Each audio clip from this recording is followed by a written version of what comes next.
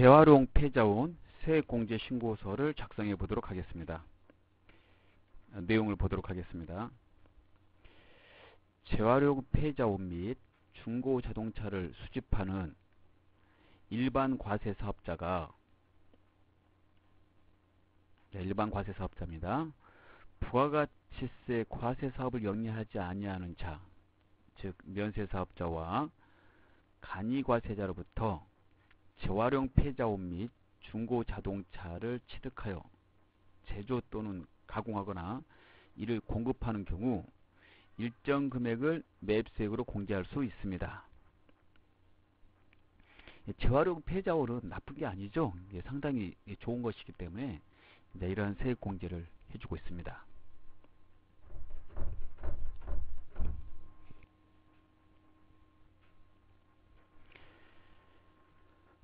자, 매입세액 공제 금액을 보겠습니다. 재활용 폐자원 등의 취득 금액의 103분의 3, 단 중고 자동차는 109분의 9를 공제받을 수 있고요. 자, 이 금액 예정 신고 시에는 전액 공제받습니다. 예정 신고 시에. 예. 네, 그런데 이것도 의제매입세액 공제 그 신고서처럼 한도가 있습니다. 그 한도는 확정신고 시에 확정신고 시에 계산하도록 되어 있고요. 예. 따라서 확정신고 들어갈 때는 확정신고 들어갈 때는 예정시하고 확정시의 그 과세 표준의 80% 한도액입니다. 80%에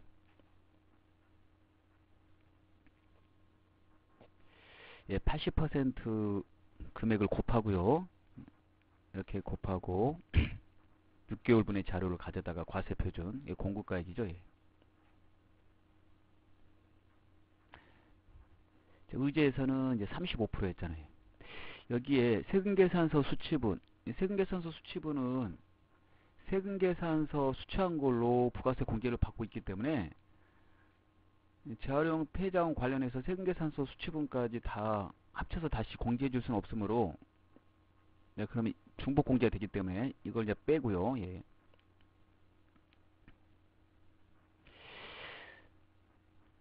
(6개월) 동안 (6개월) 동안 재활용 폐자원과 관련해서 사온 거 영수증 계산서 수치분 예.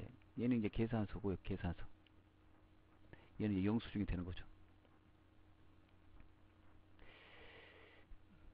그 6개월분 중에서 작은 걸로 이게 한도니까 예.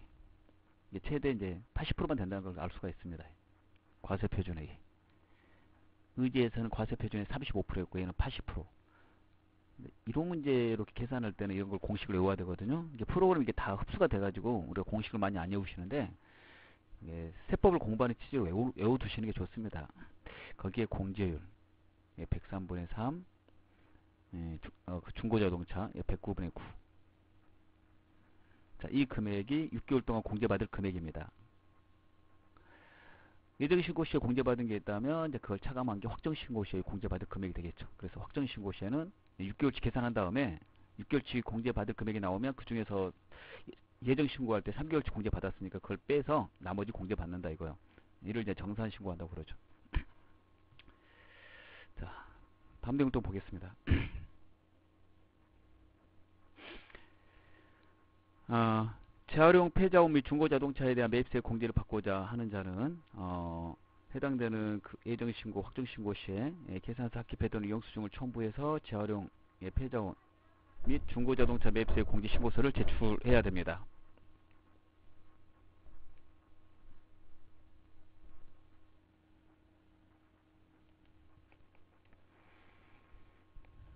자, 그 다음에 두 번째, 재활용 폐자원 등의 매입세 회계 처리는 다음과 같습니다. 얘도 의제 매입세, 의제 매입세처럼 일반적으로 입력하시는 거고요.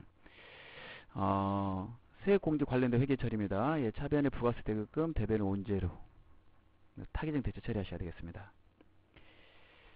자, 그리고 예, 적용 대상 품목은 재활용 폐자원은 다음과 같고요. 예, 중고자동차는 수출하는 중고자동차, 1년 미만 중고자동차는 제외하고 있습니다. 예, 품목이 되겠습니다. 해당되는 서식을 작성해 보도록 하겠습니다.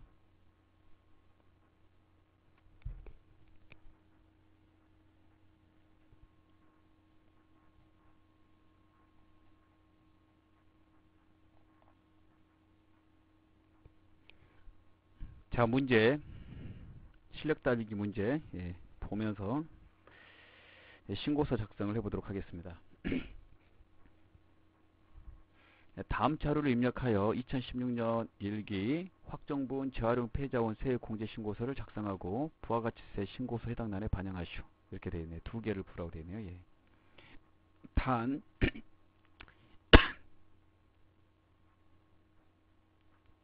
영수증 수취분 거래이다 라고 되어 있습니다. 자, 취득일자 어, 2016년입니다. 예.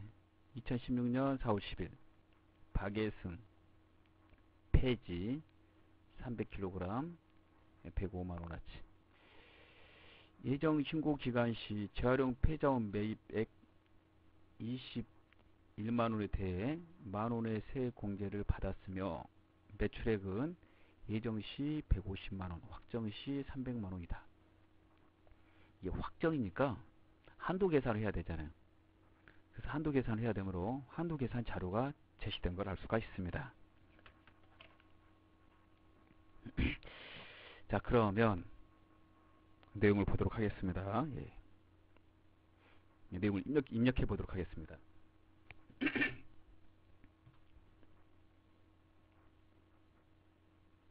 아, 죄송합니다. 예, 부가가치 메뉴에 부가가치세 2번에 재활용 폐자원 세 공제 신고서를 클릭하십시오. 자, 그 다음에 일기 확정 456 넣으시고 예, 공급자란에서 F2를 누릅니다. 자, 박예승 넣고 자, 만약에 입력이 이렇게 안 돼 있으면요 공급자가 예, 직접 타이핑해서 넣으시면 되겠습니다. 자, 영수증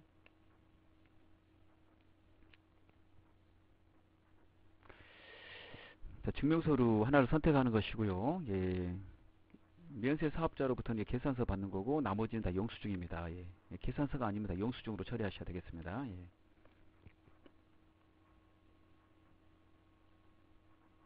자, 품명 자, 폐지 넣고요. 수량 넣고 그 나머지 그 뒤에 28번, 29번 이건 이제 차량 구입했을 때 관계되는 거니까 해당 사항이 없습니다. 자, 취득 금액을 넣습니다. 103분의 3을 선택합니다. 자, 그리고 이게 정산을 해야 된다고 그랬죠? 확정이므로, 예. 그래서 정산을 위해서 하단에 이쪽에다 자료를 넣어야 돼요. 그러니까 매출액, 과세 표준을 넣어주고, 예, 예전 거, 확정 거. 그 다음에 세금 계산서 혹시 받은 거 있다면 얘는 안 해주는 것이기 때문에 6개월치 넣어주시고, 자료 매출액 6개월치, 세금 계산서 6개월치.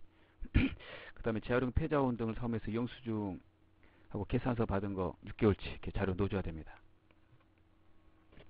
자 그러면 지문에 따라서 넣어보겠습니다. 매출액 150, 300. 그 다음에 세금 계산서 자료는 없고요. 예. 영수증 넣어야 되는데 어, 예정 신고 시의 영수증은 21만 21만 원이다 라고 되어 있네요. 네, 따라서 음, 네, 영수증 이 자료는요. 예정 신고 시가 되어 있으니까 21만 원에 더하기 이 금액 105만 원 이렇게 하게 됩니다. 따라서 이렇게 하면 126만 원이 되겠죠. 예. 이렇게 넣어주시고 그 다음에 공제받은 거 10만원 세액 공제받은 거 만원 만원 있다고 만원 넣어줍니다. 자 그러면 됐습니다. 자 그러면요 해당되는 금액이 이제 자동으로 이제 반영이 되는 겁니다. 예.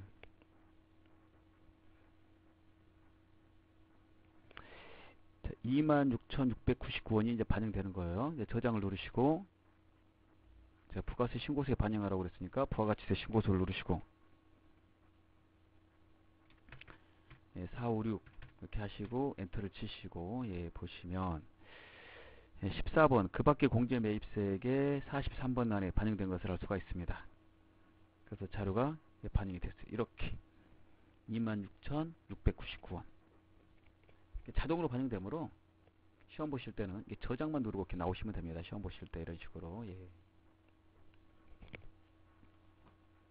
다음에 2번 문제를 보도록 하겠습니다. 다음 자료를 입력하여 제2기 확정분 재활용 폐자원 세액공제 신고서를 작성하시오. 단 영수증 수출분 거래이다라고 되어 있습니다. 자료를 넣어보겠습니다. 자 이번에 그 순용차입니다. 재활용 폐자원 세액공제 신고서를 클릭하시고 예, 날짜를 10월부터 12월 이렇게 쳐서 들어갑니다. 그 참고로 이게 지금 자동차가 나와서 그러는데요. 어, 그 중고 자동차는 한도가 없습니다. 아, 공제 한도가 없으므로 어, 재활용 폐자원처럼 한도 계산하지 않습니다. 그래서 예정, 예정에 사온 금액 109분의 9 전액 공제받고 그 다음에 확정에 사온 금액 109분의 9 전액 공제받습니다. 네, 자료를 넣어보겠습니다. 자, 박예승 영수증.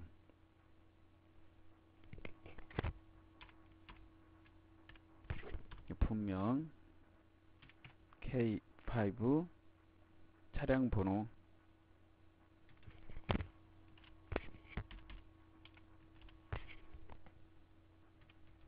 이렇게 넣어주시고 차대 번호 음, 없고요 생략